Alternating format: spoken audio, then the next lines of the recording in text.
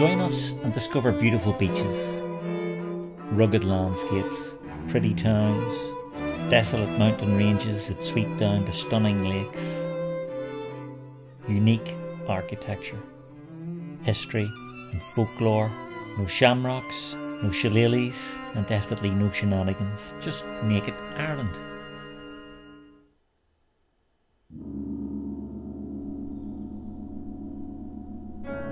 We're at the beautiful Drumcliff Church in County Sligo, the final resting place of Nobel Prize winning Irish poet William Butler Yeats.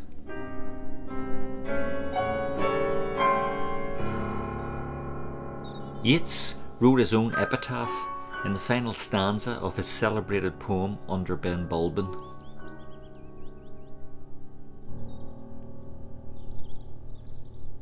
Under bare Benbulben's head in Drumcliff churchyard, Yeats is laid. An ancestor was rector there.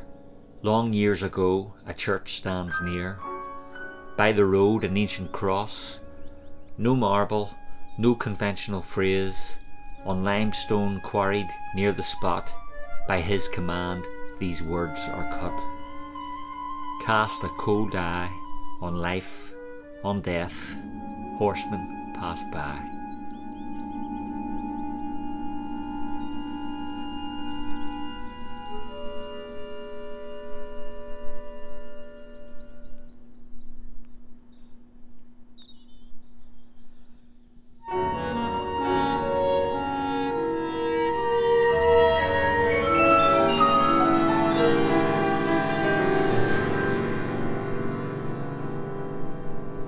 The church is St Columba's Church of Ireland and was built in Neo Gothic style in 1809.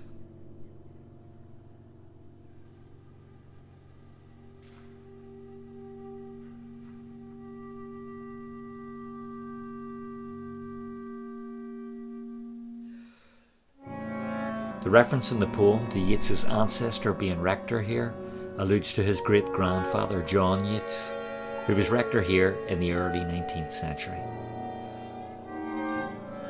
The church sits close to the site of a 6th century monastery founded by St Columkill and is located close to the Benbulben mountain from which the poem takes its title.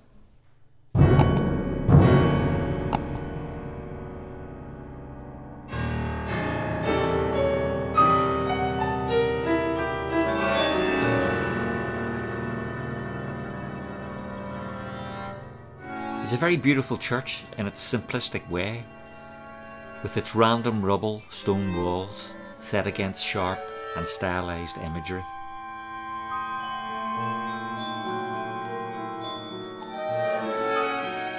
Yeats, of course, didn't die in Ireland, but in Menton in the south of France in 1939, and this was where he was originally buried. He said, If I die, bury me up there at Roquebrune. And then, in a year's time, when the newspapers have forgotten me, dig me up and plant me in Sligo. After the outbreak of war slowed that process down, his remains were eventually returned to Ireland in 1948 in accordance with his instructions.